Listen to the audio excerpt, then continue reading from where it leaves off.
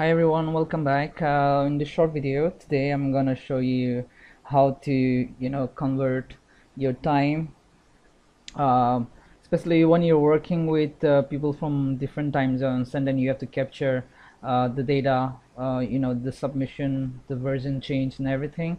Sometimes it's very useful to get one universal time that is logged to the system. So for instance I've written this get IST time for instance right now if I go here uh, IST local time. So it says it's six o'clock. You can see the same time in my system.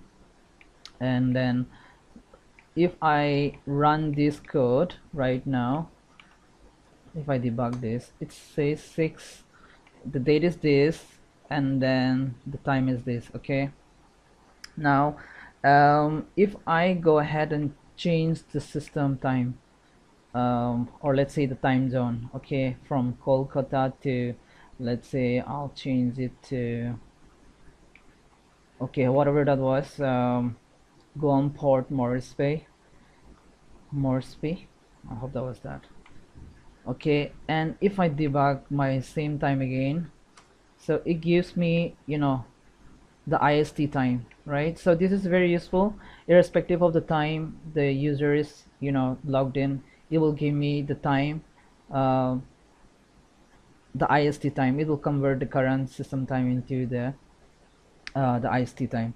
So for example if you want to change um, this to other time zones for instance you can go to your system and then you can change uh, you can check uh, the other time zone for instance if you look at my code it's 5 so GMT plus uh, it's 5 hours 30 minutes okay? So if you go here uh, to Kolkata 530 right? So if you want to change it to let's say you want to change this to Seoul. So if you want to create a Seoul universal you know time for your software to capture the time so for instance I'll just do this. It's nine hours right? So I'll just make this to zero. I'll just make this to nine. And then maybe I'll change the name of the function as well to uh, something else. My my time or something okay? So if I run this code now it will give me 933 which is the Seoul time so this is um, this is a very small piece of code that was lying there for a long time and I use this um, a lot.